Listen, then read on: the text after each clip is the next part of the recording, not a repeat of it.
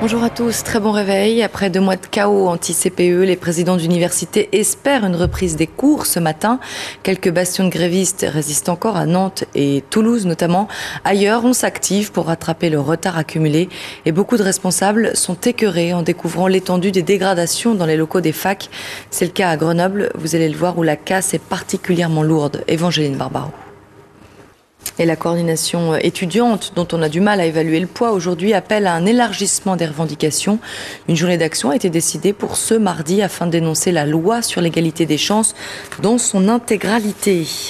Les débats sur le Proche-Orient ont animé les membres du Conseil de sécurité de l'ONU. L'attentat suicide de Tel Aviv a été unanimement condamné.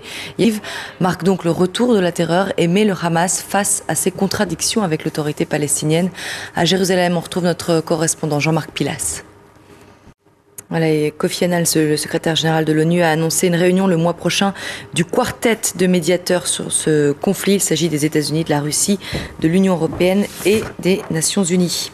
Le procès de Zacharias Moussaoui entre dans sa dernière semaine. Les avocats d'attentat, les jurés pourraient commencer à délibérer en vue d'un verdict dès la fin de la semaine.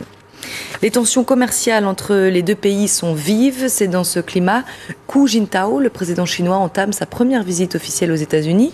Pour les Chinois, il s'agit d'une visite d'État. Pour la Maison-Blanche, c'est une visite tout court.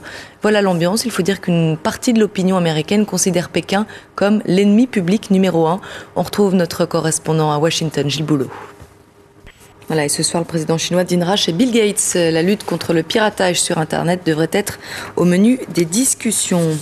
Retour en France à Vannes, deux jeunes de 17 ans seront présentés ce matin au procureur de saint elle fut l'épouse du bras droit de Jean-Marie Le Pen et l'un des rares députés du Front National du parti l'année dernière. Les nouvelles turbulences du marché pétrolier sur fond de tensions en Iran. Le baril semble bien en route pour les 80 dollars, comme le pronostiquent certains experts. Hier à Londres, le Brent a atteint un nouveau record historique à 71 dollars 62. Les répercussions à la pompe sont sans appel. Les automobilistes, même occasionnels, font la grimace, comme nous l'explique Nathalie Pellerin.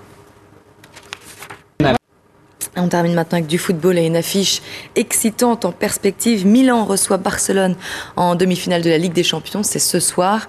Et euh, une finale avant l'heure entre les deux équipes les plus irrésistibles du continent. La rencontre, c'est à suivre dès 20h45 sur TF1. Demain, Arsenal recevra les Espagnols de Villarreal. En attendant, je vous souhaite de passer une excellente journée.